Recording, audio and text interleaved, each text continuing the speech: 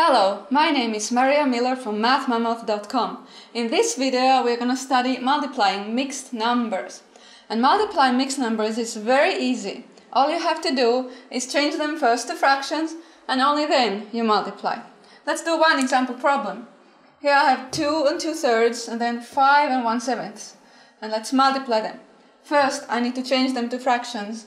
So this into a fraction, okay? You need to remember how that was done, right? There's a shortcut. You go 2 times 3, which is 6, plus 2 is 8. That gives you the numerator. And the denominator doesn't change. 3. Basically, two whole pies, you count how many thirds are in two whole pies. There's 3 and 3, you know, 6 thirds in these two whole pies, and then you add the 2 thirds from there. Here we go, 5 times 7 is 35, plus 1, 36. And the denominator is 7. Now we have fractions and we multiply. But before I multiply, I will simplify. Because 3 and 36, they simplify. Both of them are divisible by 3. So I can here divide 3 by 3, leaves me 1. 36 divided by 3 is 12. And now 8 times 12 is 96. And then 1 times 7 is 7. And lastly, we need to write this as a mixed number. Okay, it's basically a division problem. Maybe you want to use long division. 96 divided by 7. 7 goes to 9 once. 1 times 7, 7. Subtract 26. 7 goes to 26 three times. 21, subtract, and 5 is our remainder. So, as a mixed number then, we will have 13. 13 whole pies, and then 5 sevenths.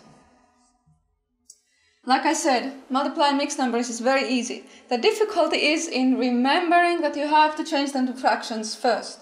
And so students sometimes make a mistake that they go like this. One and a half times one and a half. They multiply the whole number parts, one times one. Then they multiply the fractions, half times half equals one fourth. And give the answer like that, you know? So here's an example to try to combat that misconception. That one and a half times one and a half cannot equal one and one fourth. Just think of it this way. Let's say you have a recipe that has one and a half cups or teaspoons of something, you know? One and a half cups of flour. And then you want to take that recipe one and a half times. Surely your recipe will have more than one and a half cups of flour then, and not less, you know, one and one fourth. But I also can show it to you using this area model because multiplication like this, I can model it with an area calculation where this is one side times one side, then the answer will signify the area. So let's take something that is one and one, one and one half. One side here is one and one half something. Meters, feet, inches, whatever. Let's say this is one and one, one and one half meters. And this side here is also one and one half meters. Now, when I multiply this times this, will I get one and one fourth square meters? You see, this much here is one meter. This is one meter. And this is one meter. So this here is alone one square meter. Right? Then here is half a meter times a meter. So this area here is exactly half a square meter. Let me write it inside here. This is a square meter. This here is half a meter times a meter. So again, it is half a square meter.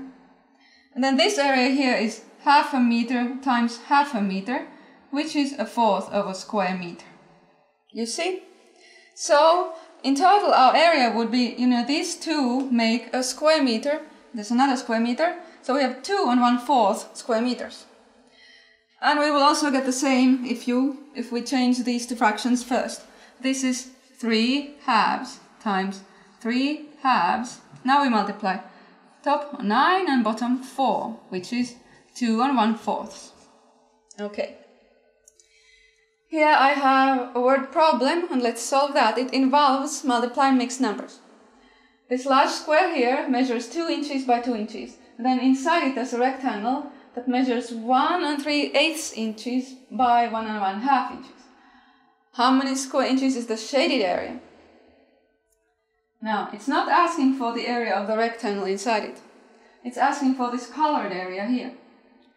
And the main principle is that we find it by subtracting. We first find the area of this larger, this large square, then we find the area inside it and subtract those two. So, let me first mark in my picture what I have here. This is 2. And this is 2. Then 1 and 3 eighths would be this here. And then this is one and a half inches. Alright, the outer square has the area of 2 inches times 2 inches. So that is pretty easy, 4 square inches. The rectangle, its area, we will find simply by multiplying the mixed numbers, right? 1 and 1 half inches times 1 and 3 eighths inches. Now I'll change these to fractions. We have 3 over 2, 3 halves, times, and here I get 1, 11 over 8. Now we can multiply, but let's check first if we can simplify. 3, 11, no. 3 times 11, 33. 2 times 8, 16. Okay. Which is just a little over 2 square inches. 2 and 1 16th square inches. Now we have the area of the inside rectangle and area of the outer square. Now we subtract. Colored area is found by subtracting. I'll take 4 square inches minus that result, 2 1 16th square inches. Okay, 4 minus 2 is 2, and then from the 2 I subtract 1 16th.